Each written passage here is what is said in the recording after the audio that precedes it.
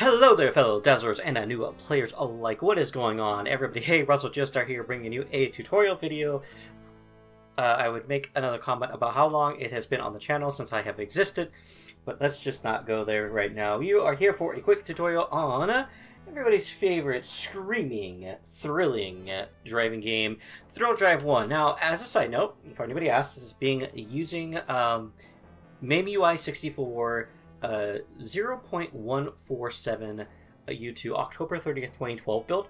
Uh, I use this specific build as uh, it just runs 3D games like Thrill Drive a little bit easier than modern day builds. We're using a toaster of a system uh, just to get that out of the way so somebody's going to ask that. And two, uh, this uh, shifter uh, tutorial is mainly meant for the non US release. I believe the US, I don't remember what the three letters was for it, uses a sequential shifter, meaning you can just shift up and down through the different gears rather than having to use a gear uh, shifter lever. Now, this tutorial is specifically if you're using a controller or keyboard, if you will, of some kind to play this game. Uh, for this video, I have a Xbox One controller, and that's going to cause some problems as you'll see. But if you do have, say, a, a gear shifter uh, like a, a race wheel with a gear shifter that could work. But anyways, and here's what you're to do. Now, the MAME issue here is that, for this game at least, and for the specific main build I mentioned earlier, uh, you have just up, down, left, right for your shifter. So it's not like there is a gear 1, gear 2, gear 3, gear 4, gear 5 reverse. So here's what you're to do. So for P1 up, down, left, right, what I have done is I've mapped those to the uh, Y, B, A, and X buttons. So what you want to do is have your your up, so to speak.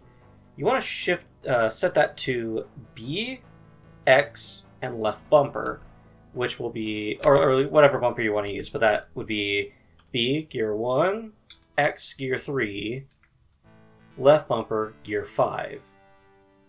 So 1, 3, 5, set to P1 up, basically. For down, we have YA right bumper. So gear 2, gear 4, reverse, right? So you've got your top on the BX left bumper, bottom on YA right bumper for uh, left, you want to have, we set it to Y and B. So that gives us the, the 1 and the 2. And then finally for right, we have that set for right bumper or left bumper, which lets us do this. Because what you're basically doing is you're kind of jerry-rigging it so uh, the, bu the buttons get you what you uh, what you want out of it. Because normally, say you were to go in and change it to just have a regular up, down, left, right, you'd have to do some weird thing where you hold two buttons at the same time to select that gear. So uh, I would I'd redo it, but I don't feel like uh, remapping the controllers. But you'd have some weird situation where you know uh, using the Xbox controller, Y would select gear for three. So to hit gear one, you'd have to hold X and Y at the same time. You could do that if you're using a controller if you really really want to. Um, but I like this method better. Uh, it does end up with a weird thing where we start at B and we kind of go counterclockwise to get, you know, uh, B being gear 1, 2, uh, B is gear 1, Y gear 2, X gear 3, A gear 4, left bumper gear 5, and then right bumper is rear. Now, there's a bit of a challenge here with this because uh, for this version of the game, you have to press a clutch pedal while shifting. Now, and I'll show you this in game, you don't have to use the clutch, but you'll lose speed if you shift without using the clutch pedal. So you're left with a decision. If you're using an Xbox controller like me, you only have so many buttons, right? Um, so what I ended up doing was I, I mapped the brake. I thought I mapped the brake to the right bumper or the right stick, but I must have turned that off or something like that. You could do that. Map the, your pedal to your uh, your brake to your stick, or if you want to map your clutch to the uh, right stick, you could do that and use the D-pad to make your shifting. The problem with that is to do that, you would have to let go of the steering wheel and do that. So it'd be really hard to shift while turning. Likewise, if you're braking, you're having to let go of whatever gear you're in in order to make that brake happen with the controller. So it's a bit of a tricky situation. I don't really use the brake pedal often in the game. Uh, I really only find myself using that if there's a situation where I need to uh, stop, like emergency stop. Uh, normally, I just like all the, the gas or pump the, the gas to get around corners and things of that nature. Uh, but that's kind of how you do it again. Right? You set your P1 up to B, X left bumper, P1 down, Y, A right bumper, P1 left, Y, B, P1 right, right bumper, left bumper, and get a load of that crack. So once you get that done, you'll be able to move through and shift. You, of course, can play around with this.